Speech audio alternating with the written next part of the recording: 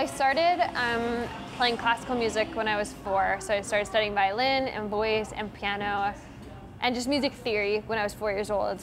Because um, my brother was playing and my sister played, and so my whole family is very musically inclined. I wasn't even, you know, sure what genre I was gonna try to do. I was doing a little bit of pop and then really folky kind of stuff and old country.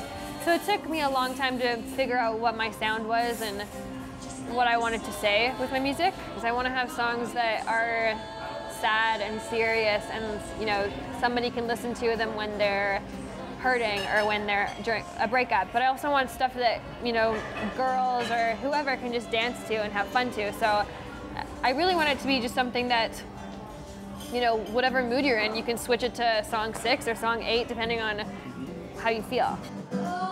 I, I always find in in the music industry or in the film industry, it comes in waves. So it'll be everything's super busy and then I'll have a full week off. And, you know, or there's a touring season, but it's also a filming season. So I just have had to plan ahead a lot. I was filming Hell on Wheels and I had two kind of really crappy days because I filmed from 6 a.m. till probably 3 a.m., jumped in a car, drove to a gig, played a gig without sleeping, drove back, went to filming again. So there was a couple days like that where I felt like, uh, I probably am not doing the best I can do in both of these things.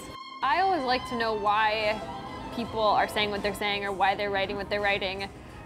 You know, what kind of event in their life inspired it. So I just like sharing that with my stuff.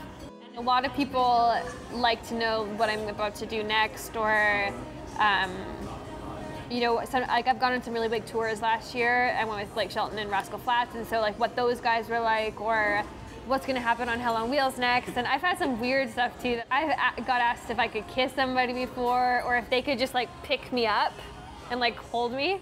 I don't know. So like weird stuff, but it's all in good fun.